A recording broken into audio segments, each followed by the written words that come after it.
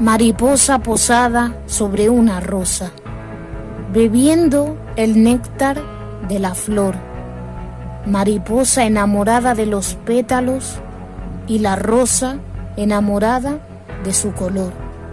La mariposa extiende sus alas, ya saciado su sed de néctar, y ansía echar a volar, pero de pronto el cielo se nubla y comienza a chispear.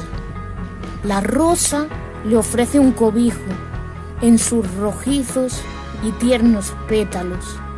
El capullo poco a poco se va cerrando y la mariposa decide entrar. Empieza a soñar que vuela sobre jardines de jazmín y margaritas bellas.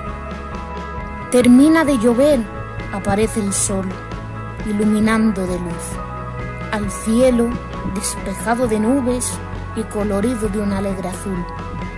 La rosa vuelve a abrirse y la mariposa vuela alegre, sin miedo a que la acechen, sin dolor y con ansias de ser libre, y agradecida con la rosa a la que considerará de gran admiración.